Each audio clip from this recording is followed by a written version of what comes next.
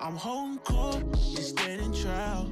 Why ain't I see you around back when So let me ask you, did you know about the pre-existing old beef between Common and Cube before going in? I did not. You I didn't? still don't know about it. I didn't know there was a thing. Okay, so you didn't see. So that was for three though. Okay, He so was not not until three. Okay, Common. but you didn't see anything like they were cool. No, they were great. Okay.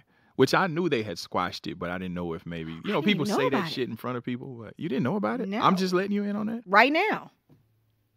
Oh wow, Did you know about it? Yeah, everybody knew about that. They had They rap fight? beef. Yeah, Oh, really? right. They dissed each other. I did not know. Yeah, Mm-mm, I didn't know that. yeah. So so it started with Common was a sweetheart.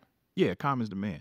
So it started with uh Cube. Oh. Uh no, it started with Common first. He did a song. Talking too much. No, he did a song uh talking about basically how rap had moved, you know, from being kind of innocent and conscious and basically once it got to the West Coast it turned into something else, you And know, with the Cube gangster took shit. that personal. yeah.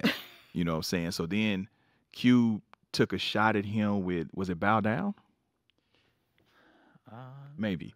So A Q, song. I believe, took a shot at him with Westside Connection. Oh, and boy. then Common came back with a song called The Bitch in You, oh, which he went right at Cube. that is not going to work out. And then I want to say Cube came back again. Right?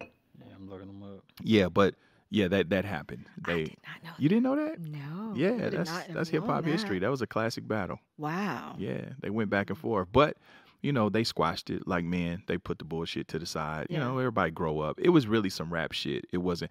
There was something that had happened. I don't want to misquote it, uh, but there was some a little bit of drama behind. Uh-huh. You know, somebody got beat up. Um, yeah, Who? I think one of Common's guys got whooped Oh. by Mack Ten and uh, Well, and Ice Cube's guy. I wouldn't be um, that shocked about it. Yeah, that. but it was some it was some rap shit. It wasn't nothing I serious. did not know. You didn't know that. Mm-mm. Look Wow. at you educating me. That's what I do. You know I that love it. all I'm into it. What else can you teach me?